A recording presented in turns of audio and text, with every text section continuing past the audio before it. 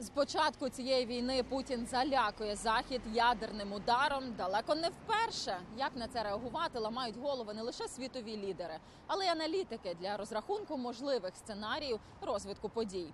У престижному королівському інституті міжнародних відносин Chatham House вважають, що, попри черговий шантаж президента РФ, світ не став ближчим до ядерної війни. А запевнення Путіна, що аж цього разу він точно не блефує, звучить як зізнання, що усі попередні рази таки блефував. А отже, й тепер ставитися до цих слів серйозно не варто.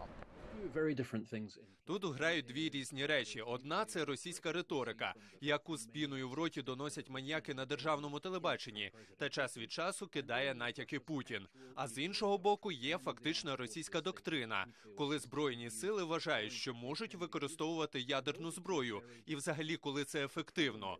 І це дві дуже різні речі. Проблема в тому, що більшість людей зосереджується лише на риториці, лише на пропаганді, тому чують постійний набат ядерної зброї і постійні припущення, що Путін достатньо божевільний, щоб запустити ядерну зброю, навіть коли немає особливої причини для цього. Аналітик наполягає, що Путін не зможе просто з примхи натиснути на ядерну кнопку, бо це запустить незворотній процес, який неодмінно завершиться кінцем Росії у нинішньому вигляді.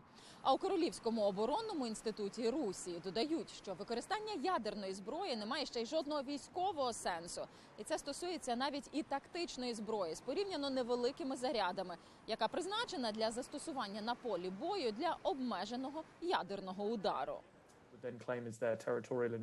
Це найбільше попахує відчаєм, бо ефективність тактичної ядерної зброї на полі бою дуже сумнівна. Адже якщо використати надто близько до фронту, то потенційно вона може опромінити і російську територію теж.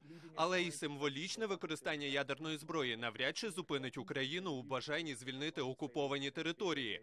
А в глобальному сенсі використання ядерної зброї так само опромінить Європу, як і частини Росії. Отже, означатиме ризик ядерної ескалації зі сторони заходу. Застосування навіть найменшої ядерної боєголовки стане замахом на світовий порядок, кажуть експерти. Бо з часів ударів на японський Хіросіму та Нагасакі ядерна зброя використовувалася виключно для стримування, щоб держава-противник навіть і не думала про можливий напад. Потужність найменшої тактичної ядерної боєголовки до однієї кілотони у тротиловому еквіваленті. Це лише у 15 разів менше бомби, скинутої на Хіросіму.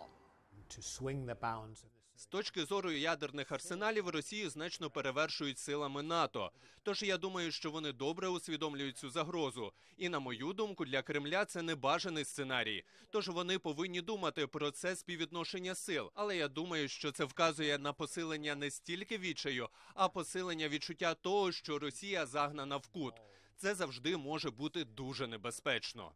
Судячи із логічних аргументів, аналітики вважають, що погрози Путіна спрямовані виключно на західних лідерів, щоб ті перестали допомагати Україні повертати окуповані території. Але залишається невеликий шанс того, що Росія таки застосує малопотужну тактичну ядерну зброю, щоби вийти з програшної ситуації на фронті. Світлана Чернецька, Юрій Романюк. Подробиці британське бюро телеканалу Інтер. Марафон. Єдині новини.